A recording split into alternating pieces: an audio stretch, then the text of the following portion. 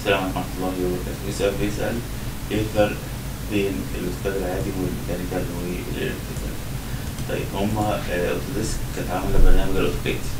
وبعد كده لما ظهرت بقى موضوع ال BIM فقال لك طب إحنا ممكن نزود قائمة فيها بعض الأوامر اللي تخليني أرسم حيطة أرسم عمود أرسم وهكذا.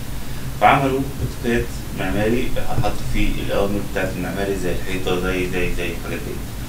وحطوا الانشائي برضه نفس الفكرة إزاي ترسم مثلا كمرة إزاي ترسم آه، وهكذا.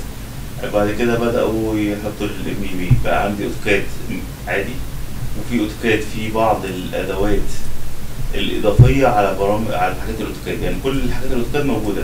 وفي بس بس بعض ال add-ins أو بعض الأدوات الإضافية اللي تخليك ترسم معماري وبرنامج آخر ترسم انشائي وبرنامج آخر ترسم كهروميكانيكال تمام؟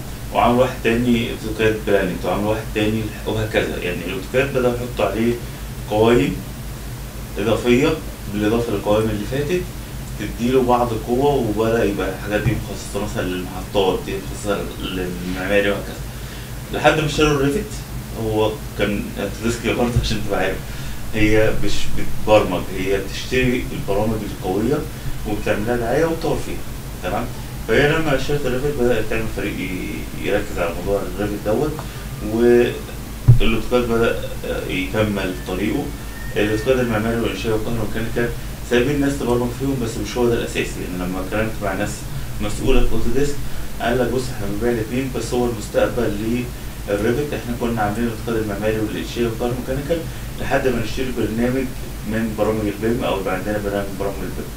فلو انت عايز بتدور على المستقبل خش على طول على الريفت الاوتوكاد العادي أو الاوتوكاد الاركتكتشر الاوتوكاد الميكانيكال الاوتوكاد الاستراكشر مش هو المعتمد في الشركات مش الناس شغالة بيه.